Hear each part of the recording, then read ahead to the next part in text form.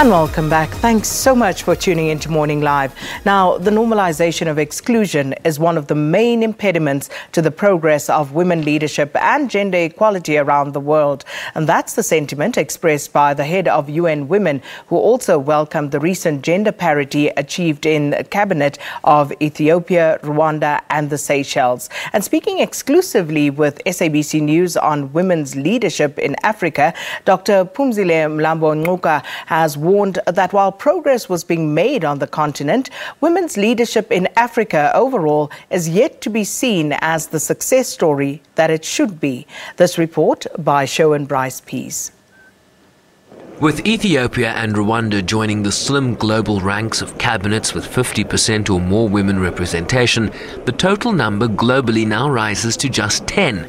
The others, France, Sweden, and Spain in Europe. Costa Rica, Colombia, and Nicaragua in South America, and Canada.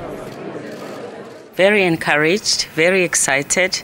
Uh, it helps to boost our campaign uh, for Planet 5050 before 2030. Uh, we want to see this in cabinets because in cabinets are at least one institution where one person, the head of state, can actually make a decision. And in many cases, there's a very good pipeline to choose from. And Rwanda, Seychelles, and Ethiopia, and the uh, other countries uh, in the world that have done that are proving it. There's 10 countries now in the world that have 50 50 cabinets. Sorry. She says there is a higher representation of women in public sector leadership throughout Africa than in the private sector, but even so, the averages remain low. Certainly, there's higher representation of women in the public sector, but not high enough, even in Africa, uh, to call it a, a big success story yet. Um, Africa, for instance, uh, the leadership uh, in parliament is on average 23 uh, percent, which is just above uh, or just about around the global um, uh, average. There's countries that are still below, so the fact that Africa is on the global average is not a big consolation. We definitely can do much better than that because AU already took decisions that enforce 50-50 in all decision uh, making institution within the AU. Only five countries on the continent have enacted legislation to counter gender pay gap discrimination South Africa, Angola, Kenya, Chad, and Morocco. And despite this slow progress, Mlambo Ngcuka believes the demands on women who lead continues to be greater than their male counterparts if these women don't succeed, they get uh, unfair and very harsh uh, scrutiny.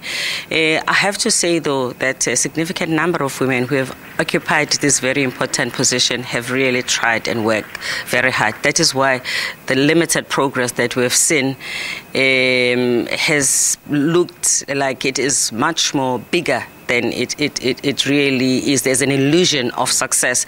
It has to do with the fact that uh, the few men that have been there have been uh, able to, to project very strongly. One woman trying to do the job of five men has seemed like uh, uh she's five women. And uh, it shouldn't be like that. Uh, we need to be able to have both men and women of equal numbers without putting extraordinary pressure on women leaders urging greater political will and a greater public angst when women's leadership does not adequately reflect a country's or company's demographic. If you think of the countries that have been able to take uh, the step, the three in, in Africa, those presidents uh, must have clearly thought about what statement they wanted to make. And when I look at the lineup of the women who are in this position, they're really strong and solid. And they're occupying significant position in those cabinets. It's defense, it's trade, it's health, uh, it's foreign affairs. So they're not pushovers. And many of them come with accolades into the job. A luta continua, or the struggle continues. What remains unclear is whether victory for women, particularly in Africa, is certain. Sherwin Bryce Pease SABC News, New York.